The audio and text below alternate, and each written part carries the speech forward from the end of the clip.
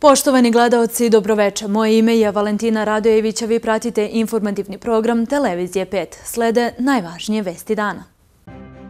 U svečanoj sali gradske kuće danas održana radionica rešavanje problema aerozagađenja poreklom iz individualnih ložišta na lokalnom nivou. Javno-komunalno preduzeće Niskogradnja Užice privodi kraju asfaltiranja puteva u mesnoj zajednici Duboko. Grejna sezona u Novoj Varoši počinje 15. oktobra, iako količina suta za celu grejnu sezonu nisu nabavljene. Na Javorju u Priboju već treću godinu organizuje se multietnički i međunarodni sabor lovaca na kom je obnovljena i konjička trka. Sutra nestabilno i promenljivo uz manji pad temperature.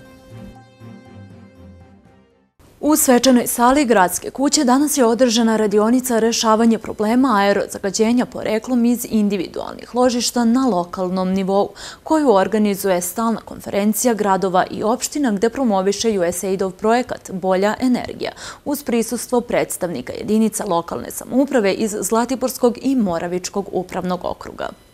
Grad Užice se već od 2015. godine bavi jednim od izuzetno velikih problema u oblasti zaštite životne sredine.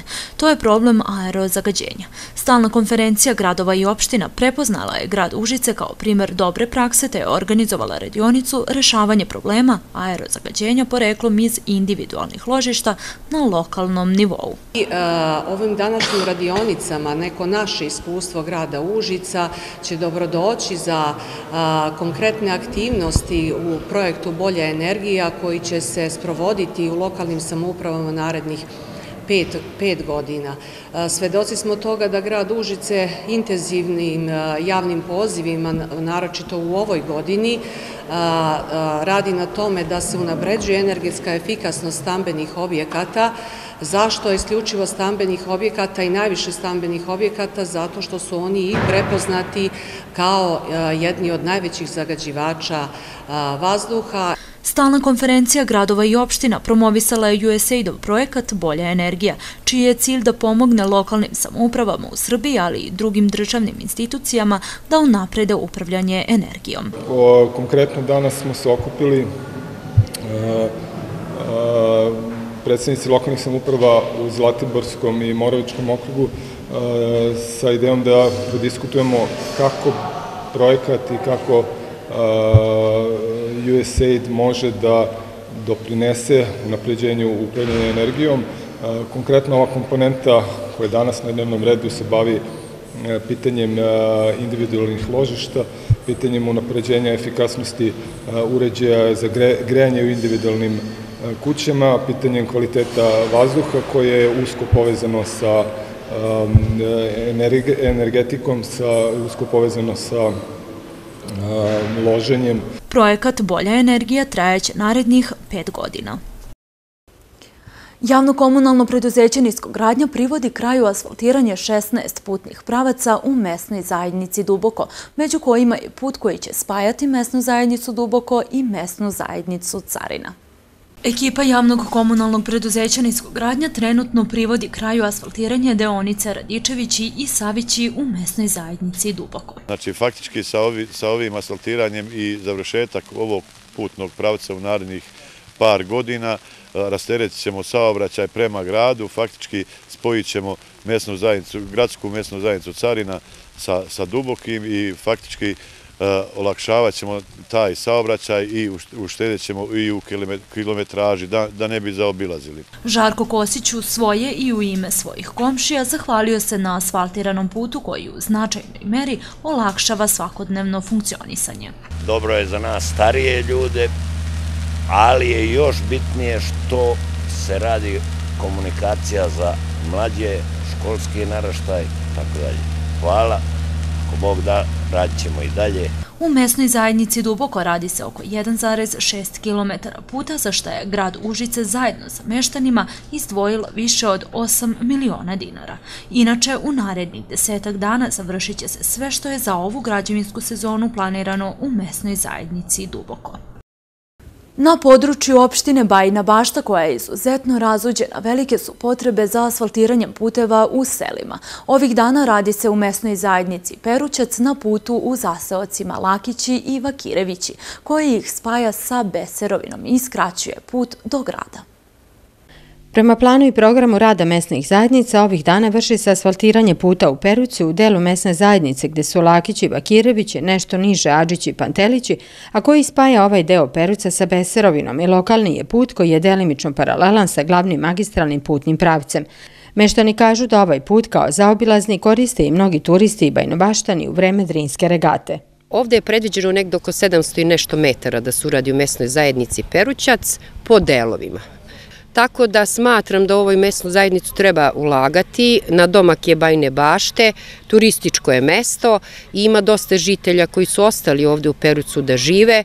E, kao što i vidimo, sve su to lepa domaćinstva, lepa dvorišta i ako pričamo o turizmu, treba da krenemo i u tu priču seoskog turizma. Meštani kažu da ovaj put izlazi e, do Beserovine, pa im je bliže do Bajne bašte. Ima li šanse da se nastavi ova deonica? Pa ove godine ne možemo stići, jer mi radimo po planu i programu rada mesnih zajednica. E, za ovu godinu je ovoliko opredeljeno, za iduću godinu ćemo videti prema prioritetima, tako da znate i sami da imamo 32 mesne zajednice i treba da ispoštujemo sve naše sugrađane. Za ovu godinu je ovo dovoljno po planu i programu. Jesu li meštani Peruca raspoloženi za saradnju i da izdvoje za sredstva za pripremu? Pa raspoloženi su svakako. E, vidite, unazad je padala kiša nekoliko dana. Sve su to nizbrdice i verujte, svako ulaganje u to nasipanje i valjanje je uzaludan trud. E, posle svake kiše jače, faktički bi trebalo intervenisati i vratiti put u prvobitno stanje, tako da je ovo asfaltiranje puteva idealno rešenje da rešimo e, na pravi način taj problem i nasipanja i kiše, znači ovo je trajno rešenje. Radi se asfalt, da li ste zadovoljni? Pa sada jesam kad je počelo da se radi. Čekali smo, kako sam se ja rodio, maštali smo ovom asfaltu. I sada jedan deo, zahvaljujući i opštini Bajna Bašta, radi se i onda gledamo da se uradi ceo ovaj put. Imamo još 700 metara što nije asfaltirano, što voda nosi stalno kad kiša pada i tako. Sad je ovo idealno druga priča. Koliko vas ima ovdje domaćinstava? Pa, na ovom putu celo selo ovo veže ovaj asfalt i dole asfalt za Bajnu baštu. I skraćeno 5-6 km da se ne ide na Perućac, da se obilazi okolo. I možete ovuda gde izađete na glavni put? Na glavni put dole prema Bajnoj bašti, pre Beserovine. Nema ovaj put je kilometar i po ceo. I onda su obećali dogodne da će ovo da spoje tim da se bar prespe ovo što ne bude sad, pošto voda nosi stavno. Ali druga priča, živimo tu i kraj hidroelektrane u Perucu i sve i baš je, baš je žalostno da nismo imali asfalt do sada. Oga, mi smo čekali jedno najmanje 10 godina i više. Koliko će vam sad ovo znači? Kako neće znači, dobro čovječe, vidiš, i može ići bješke, čovječe, super.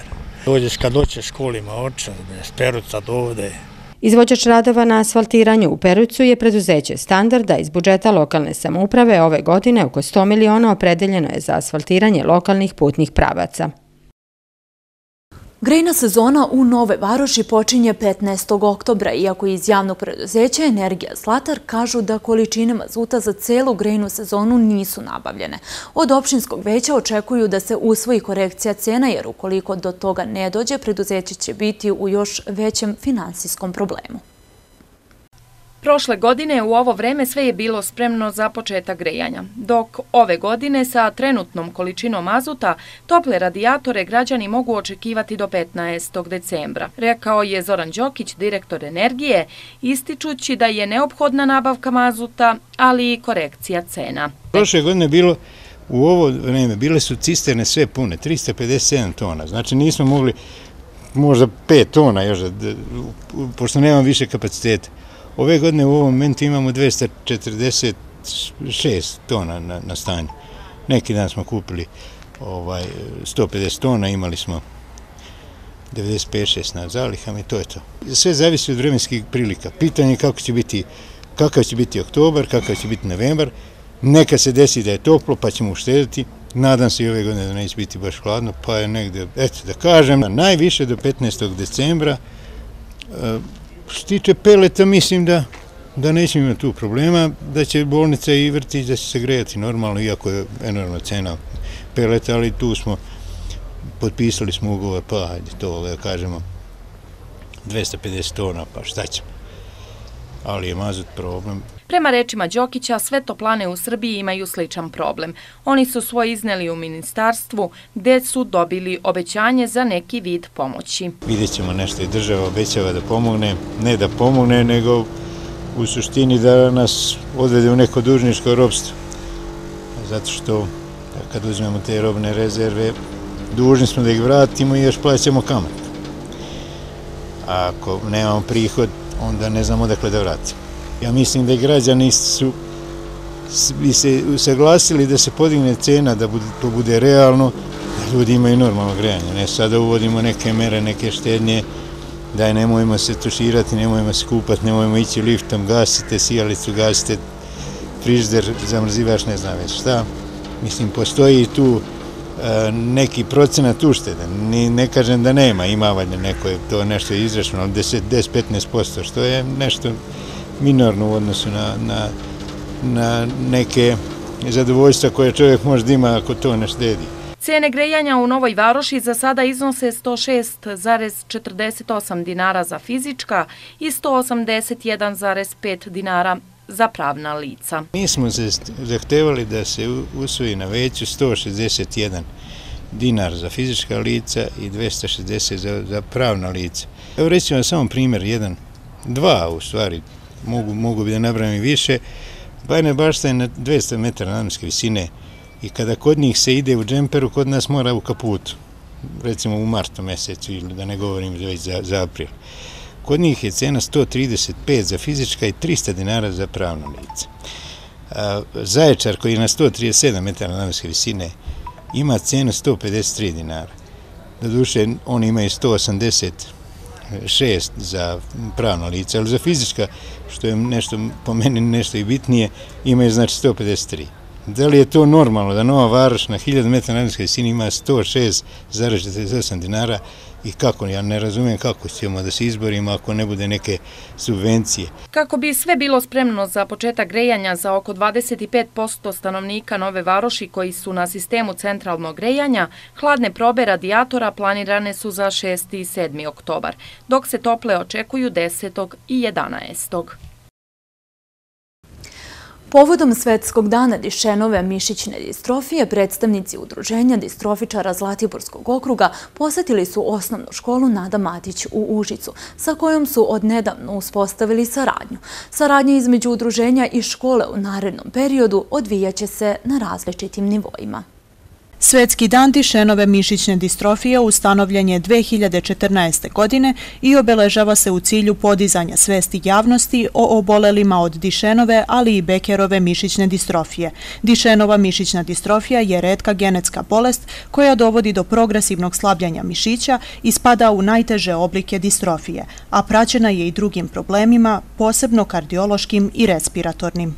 Iako od ovog tipa distrofije oboleva mali broj ljudi, cilj udruženja distrofičara jeste da kroz različite aktivnosti ukaže na probleme sa kojima se ti ljudi najčešće suočavaju. E, veoma je važno napomenuti da e, je e, uz sve novije primjene terapije, osavremenjivanje, napredok u medicinskoj tehnologiji, lečenju i potizanju standarda medicinske nege, danas životni vek obolelih od dišenove mišićne distrofije je e, duži nego što je to bilo ranijih, ranijih godina i svakako e, ovaj, podrazumeva i neki e, veći kvalitet života. Udruženje distrofičara Zlatiborskog okruga svoje ovogodišnje aktivnosti u okviru obeležavanja Svetskog dana dišenove mišićne distrofije sprovelo je u osnovnoj školi Nada Matić u Užicu, sa kojom je uspostavilo saradnju, a sve u cilju pomoći svom najmlađem članu koji pohađa drugi razred ove škole. Jedan od razloga je što je naš učenik Bogdan Knežević oboleo od te bolesti i što ćemo se mi truditi da njegov boravak ovde u školi učinimo što prijatnijim. E,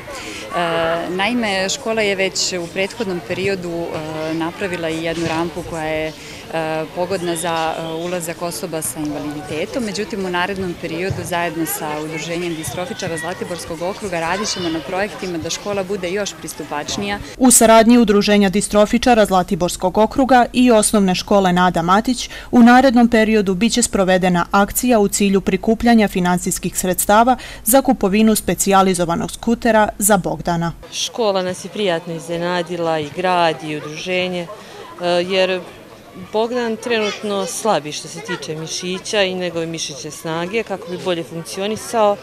E, značila bi mu nabavka električnog skutera. Da mislim da svi imaju pravo da imaju sve najbolje moguće uslove da ostvare svoj puni potencijal u društvu, školi, bilo gde. Predstavnici Udruženja distrofičara Zlatiborskog okruga istakli su da je Svetski dan Dišenove mišićne distrofije samo prilika da se jednom godišnje skrene pažnja javnosti na postojanje osoba kojima je pomoć potrebna, ali da se aktivnosti kojima se njihovo udruženje bavi sprovode tokom cele godine.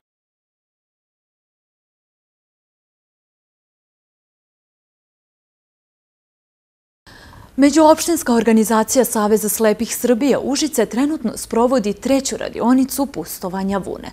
Radionica koju je najpre podržala ambasada Francuske sada se sprovodi na inicijativu Ušičke organizacije. U okviru svojih redovnih aktivnosti, a u cilju lepšeg boravka svojih članova u prostorijama Međuopštinske organizacije slepih i slabovitih Srbije u Užicu, ova organizacija održava brojne radionice. Trenutno aktuelna jeste radionica na kojoj članice udruženja savladavaju tehniku pustovanja vune. Ovaj projekat najpre je podržala francuska ambasada, napravio ga je Savez slepih Srbije, a već treći put sprovodi se na inicijativu Saveza slepih i slabovitih iz Užica. Volila bi nekako da barem pet radionica odradimo. Ove, ovoga puta su četiri žene aktivne e, na radionici bile. Ukupno je e, položilo ovu tehniku, što bi se reklo, savladalo. Imamo i sertifikate koje nam je izdala etnomreža. I etnomreža e, kaže da smo mi, e, da mi dobro e, smo savladale pustovanje vune i mogu da kažem da smo ovaj put e, napravile preko 30 loptica. Obuku sprovodi etno mreža Srbije, a predavač je Zlatica Jankulovski iz Pančeva, koja je istakla zašto je važno da se slepe i slabovide žene uključe u ovakve aktivnosti. Za mene e, pričinjava to da se jednostavno e, širi ne samo ovaj, mogućnost E, prijateljstva, nego i održanja ovog zanata i e, volja e, da pokažemo da i marginalizovane grupe mogu da dostignu nivo videćih ljudi i da na lak i jednostavan način i putem ove tehnike mogu da se integrišu u društvu i da ne budu zaboravljeni. Članice udruženja istakle su da uvek rado učestvuju u ovakvim radionicama. I stvarno nam se lepo mi se sviđa i ovo sam naučila da radim i baš mi je zgodno, fino. Pa ja učestvujem u svim radionicama, pa ručni radovi. I sada mi je ovo druga godina kako ovo radim. Ovo mi je najlepši rad u životu i najlakši. Malo se pokvasama i uprljamo, ali mi se brzo i osuši i znači da imamo plod od toga. Loptice koje nastaju kao rezultat aktivnosti u okviru ove radionice, Međuopštinska organizacija Saveza slepih Srbije u Užicu dodeljuje kao poklon svojim saradnicima i prijateljima.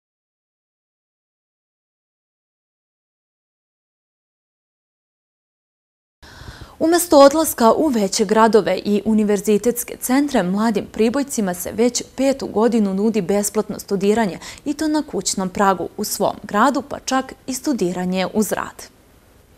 Akademija strukovnih studija Šumadija sa sedištem u Kragujevcu, Ocek Trstenik, je akreditovana visokoškolska ustanova sa tradicijom od preko pola veka, koja pred pet godina u Priboju ima svoju visokoškolsku jedinicu. Ove jesene Akademija u Priboju upisuje petu generaciju studenta u prvu godinu osnovnih strukovnih studija mašinsko inženjerstvo, modul proizvodno mašinstvo. Verujem da svi stanovnici e, opštine Priboj znaju da je ovo državna škola, da je ovo ozbiljna akademija strukovnih e, studija i da e, ćemo uspeti da nastavimo našu misiju koju smo počeli još 2018. godine. Ono što je potrebno za upis jeste dobra volja, da se javite našoj koleginici Marije Ćinović u industrijskoj zoni ovde u Priboju. Školovanje traje tri godine. Pozivam sve koji su zainteresovani da dođu, da upišu i da se družimo u naredne tri godine.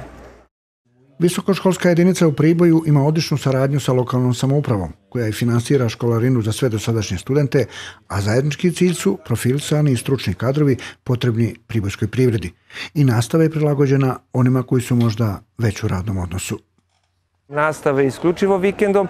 Profesori su e, svi eminentni stručnici u svojoj oblasti, svi imaju e, ne samo pedagoško, već i radno iskustvo. Ove godine imamo još pet diplomiranih studenta. Nama je negde prosek oko pet godina studiranja, u Priboju je znači negde oko tri i po godine e, studiranja. Da vi već posle, ajde da kažemo, četiri godine steknete zvanje strukovni inženjer mašinstva u oblasti proizvodnog e, mašinstva. Predsjednik Akademije Zoran Đorđević, pomoćnik za privredu Milutin Živković i rukovodilac oceka u Trsteniku Goran Miodragović posjetili su opštinu Priboj i u razgovoru sa čelnicima lokalne samuprave dobili podršku za nastavak aktivnosti na obrazovanju stručnih kadrova potrebnih privredi ovog grada. Studiranje u svom gradu, u ovom slučaju čak i besplatno, ima brojne prednosti o kojima možda nisu razmišljani ni budući studenti, pa najčešće ni njihovi roditelji. Nigde nije lepše nego kod kuće vaše dete kod kuće, vi budući brucoši ste kod kuće, majčina hrana je najbolja hrana, e, drugari su vam većinom tu. Ako hoćete da se zabavite, imate vremena da uštedite, jer ako vam je otprilike oko 300 evra trošak mesečni za jednog studenta, ovde nemate praktično nikakav trošak, znači dobijate praktično 100% besplatno školovanje. Delegacija Akademije strukovnih studija posjetila je i Mašinsko-elektrotehničku školu u Priboju kao realnu bazu za svoje buduće studente, ali i profesore. I ovdje se dosta pažnje poklanja praktičnom obrazovanju, kao i na akademiji, što samo sutra garantuje uspešnije zapošljavanje. Akademiju strukovnih studija Šumadija mogu upisati srednjoškolci gotovo svih smerova. Školarinu umjesto budućih brucaša plaća lokalna samouprava, a upis za petu generaciju studenta vrši se u prostorijama Visokoškolske jedinice u Priboju u slobodnoj zoni do 1. oktobra. Ljubitelji lova i prirode u Priboju nastoje da obnove i nastave tradiciju svojih predaka. Na Javorju, najvećoj pribojskoj planini na Voskovačkom brdu, već treću godinu organizuju se multietički i međunarodni sabor lovaca, koji kao nekada polako postaje narodni sabor ovog kraja. Na saboru je obnovljena i nekada čuvena konjička trka, gde je ove godine učestvovalo čak sedam grla. Odkad nisu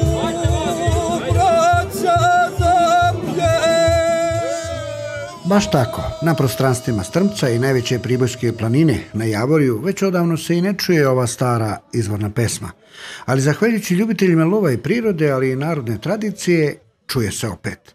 Za sada, bar na saboru lovaca, koji je ove godine organizovan po treći put, baš tu, na Voskočkom brdu, gde se do pre koju deceniju i organizovao tradicionalni narodni sabor – S obzirom na blizinu granice sa opštinama Rudo i Čajnić u Republici Srpskoj, odnosno Bosni i Hercegovini, ovo je i međunarodni, ali i multietnički sabor. Ovde ima ljudi razne vrste i oni što klanjaju i oni što se krste, svojom dušom i srcem cijeli, ja vam srećno ovo današnje druženje želim, nek se pjesma od danas vori, nek se mudra riješ bori, nek je srećno mjesto svima, družili se vijekojima. A ako se po jutru dan poznaje, ovo druženje na Voskovini ima budućnost, jer ga organizuju ljudi koji vole ovaj kraj, svoje selo i svoju rodnu grudu, ali vole i druženje, uživanje u prirodi, svežem vazduhu, hladnim planinskim izvorima, ali i lovačkom gulašu bez koga su ovakva okupljanja nezamisliva. Apsolutno, sve je srnetno. Odakle lovcima srnetno? Pa, lovci, neko lovac, neko krivolovac, ali imamo. Nađe se, zamrzivača spremljeno ranije. Ovo je, znači, samo crnetina i neka 3 kg svinsko, ovaj, junećeg vrata. Ovo je čist skulaš od divlje svinje. Ništa nije dodavano? Nema ovdje nikakvih dodataka, to je malo masnije meso, nema potrebe za nekim ovaj, velikim dodacima, ima svoju masnoću, mlado meso, brzo se kuva. Na Voskovačkom saboru ove godine je obnovljena i nekada prestižna konjička trka, a po broju grla mogu da pozavide i mnogo stariji sabori kao što se trudimo da i sve ostalo bude zanimljivo i izbudljivo, ove godine smo, da kažem, uveli ovu atrakciju ovaj, da opet vratimo sećanja neka davna vremena kada je to bilo svakodnevnica na vašarima i na narodnim saborima. Evo već treću godinu organizujemo druženje ljubitelja prirode. Svake godine se trudimo da uvedemo nešto novo. Evo ove godine smo konjsku trku. Ako budemo živi i zdravi, do godine smislit ćemo nešto. A na startu konjičke trke sedam grla. staza Brdska, Uspon i Makadamski put i više je bila trka izdržljivosti nego galovska trka. I za učesnike i za posetioce obnavljanje ove tradicije bila istinska atrakcija. Nije bila trka za nagradu, više je druženje da nam bude baš onako lepo. Jahać i konj samo služi za uživanje, za jahanje. Lepi konji, lepo druženje, ništa lepše. Ne svakidašnji dan, bilo nam je prelepo, imali smo tu neku trku organizovan, sve se završilo kako treba, što je najbitnije. Vrhunski, odlične, iz Batajnice, samo za ovu priliku. Od sada dolazimo stalno. Na Voskočko brdo stigli lovci sa svih strana, sa Zlatibora, Nove Varoši, Prijepolja, Rudog Čajnića, naravno i svih pribujskih sekcija. Gosti stigli gotovo sa svih prostora bivše juge. Strmčani iz Belog sveta planirali svoj odmor za ovaj sabor da obiđu svoj zavičaj i sačuvaju tradiciju predaka. Druženje trajalo do kasno u noć, jer su se ljudi posle pandemije koronavirusa prosto uželjeli ovakvih saborovanja. Organizatori, ljudi iz Voskovine, Lovačko udruženje Priboj i Catering Minos uz podršku brojnih sponzora mogu biti više nego zadovoljni i već krenuti sa pripremama za druženje naredne godine, prve subote u septembru.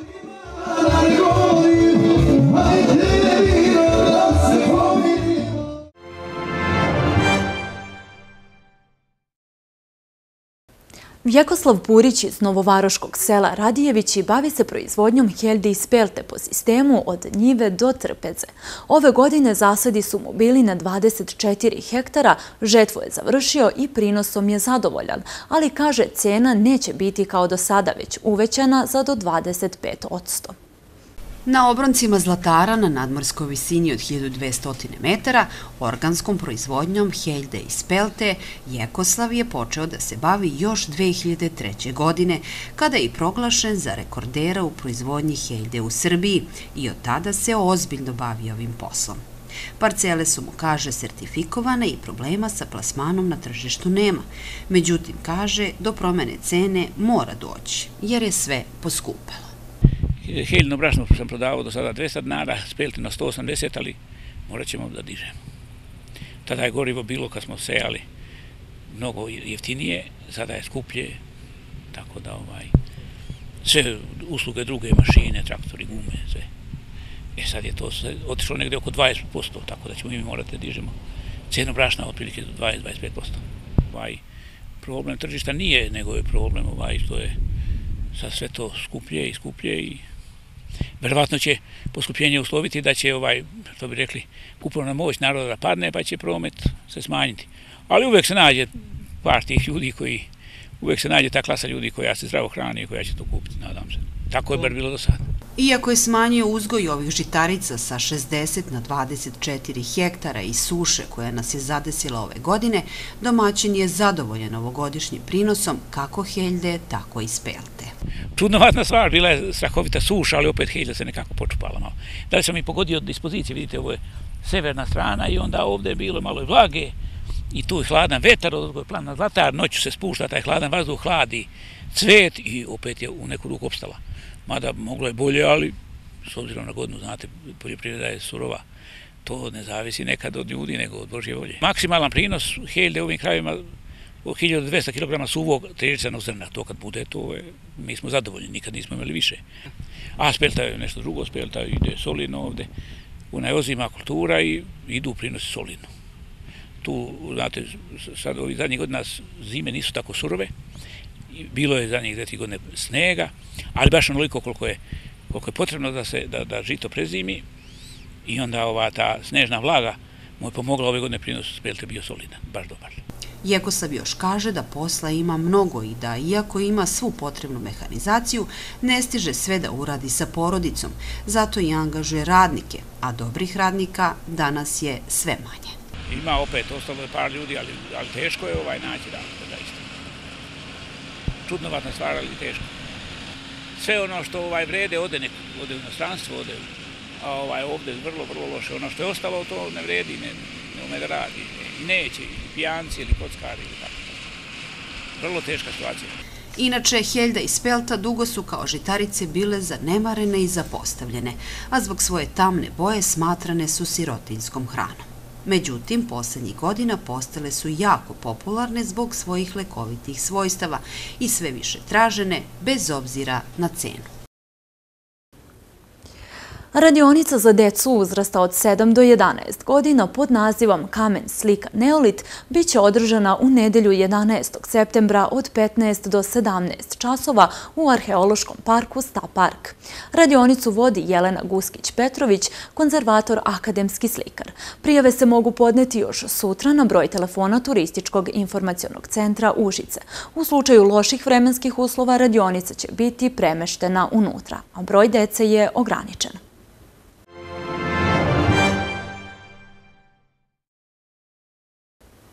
Stigli smo do vremena pa pogledajmo kakvo nas vreme očekuje sutra i narednih dana. Sutra nestabilno i promenljivo uz manji pad temperature. Maksimalna temperatura do 30 stepeni. U Zlatiborskom okrugu promenljivo sa mogućim padavinama. U Užicu mogući prolazni pljuskovi popodne, a maksimalna dnevna temperatura do 25 stepeni. I dane vikenda obeležit će slični vremenski uslovi. Pogledajmo još jednom vesti koje su obeležile dan za nama. U svečanoj sali gradske kuće danas održana radionica rešavanja problema aerozagađenja poreklom iz individualnih ložišta na lokalnom nivou. Javno-komunalno preduzeće Niskogradnja Užice privodi kraju asfaltiranja puteva u mesnoj zajednici Duboko. Grejna sezona u Novoj Varoši počinje 15. oktobra, iako količinama suta za celu grejnu sezonu nisu nabavljene. Na Javorju u Priboju već treću godinu organizuje se multietnički i međunarodni sabor lovaca na kom je obnovljena i konjička trka. Sutra nestabilno i promenljivo uz manji pad temperature. Poštovani gledalci, bilo je to sve za ovo izdanje informativnog programa Televizije 5. Hvala vam na pažnji i ostanite uz naš program.